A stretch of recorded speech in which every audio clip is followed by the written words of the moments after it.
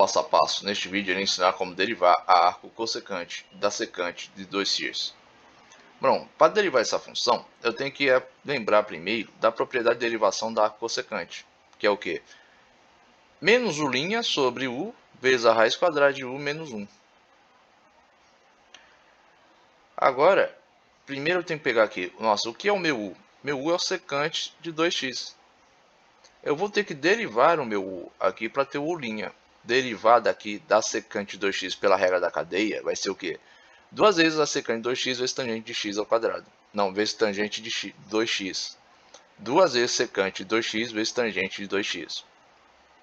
Eu vou deixar aqui no card desse vídeo o passo a passo de como se deriva a secante de x, para vocês verem como chega aqui. Neste vídeo aqui eu vou fazer de forma mais imediata, né, pela regra da cadeia aqui, para não ficar muito extenso.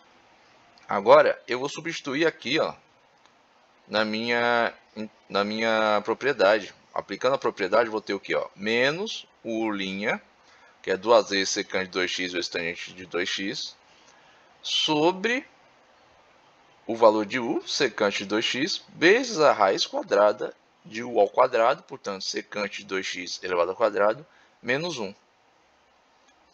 Distribuindo aqui, ó, eu vou ter isso aqui, ó, menos duas vezes a secante de 2x vezes a tangente de 2x, sobre secante de 2x.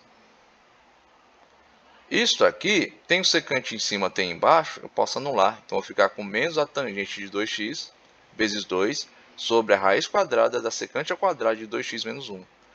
Eu tenho uma relação trigonométrica que me diz que a secante ao quadrado de x é igual a tangente ao quadrado de x mais 1. E que, portanto, se eu isolo a tangente ao quadrado nela, eu tenho que ela igual a secante ao quadrado de x menos 1.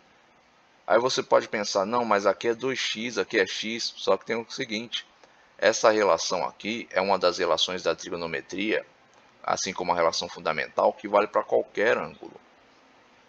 Não importa se esse ângulo está sendo multiplicado por 1, 2, 3, 5, 10 ou 20.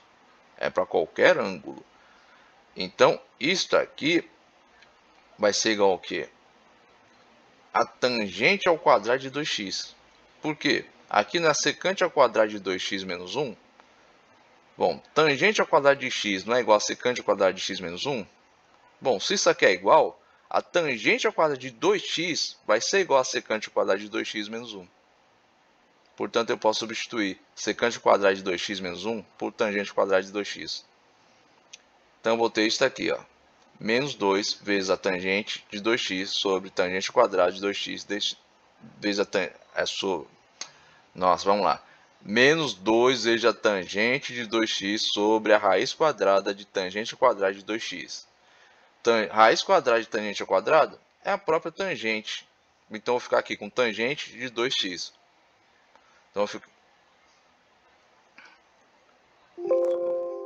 Bom dia, boa tarde boa noite, seja bem-vindo ao Passo a Passo. Neste vídeo irei ensinar como se derivar a arco cossecante da secante de 2x.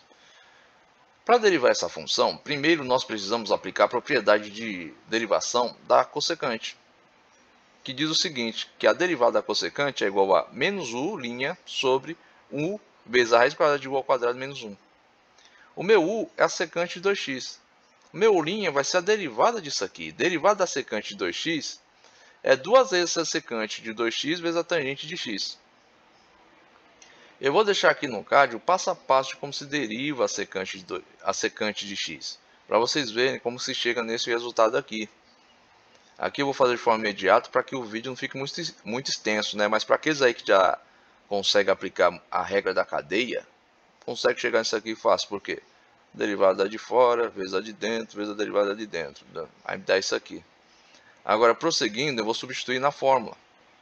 Então, vou ter aqui, ó, menos o meu u', que é isso aqui, sobre o meu valor de u, secante de 2x, vezes a raiz quadrada de u ao quadrado, portanto, secante de 2x elevado ao quadrado, menos 1. Isto aqui, ó, distribuindo sinal negativo, vou ter isso aqui. Eu tenho secante de 2x em cima, tem embaixo, posso anular uma pela outra. Elevo aqui, ó, ao quadrado, distribuo. Então, vou levar, vou ficar com a secante de 2x ao quadrado, essa aqui, ó, secante quadrado de 2x menos 1.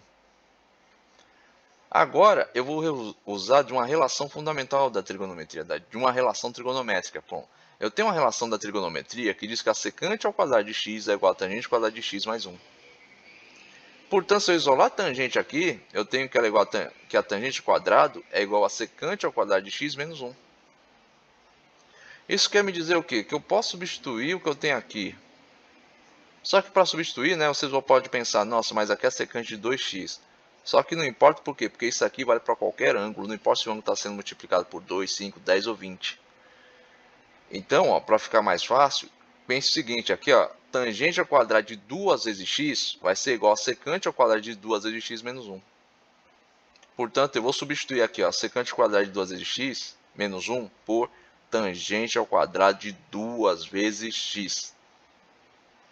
Isso aqui é igual a isso aqui. Da mesma forma que isso aqui, que a tangente ao quadrado de, x é igual a secante ao quadrado de x menos 1. Portanto, a tangente ao quadrado de 2x vai ser igual a, a a secante quadrada de 2x menos 1. Prosseguindo, raiz quadrada de tangente ao quadrado é a própria tangente. Então, vou ficar aqui ó, com tangente de 2x. Então, a resposta vai ser ó, menos duas vezes a tangente de 2x dividido por tangente de 2x. Isso aqui vai me dar o quê? Menos 2.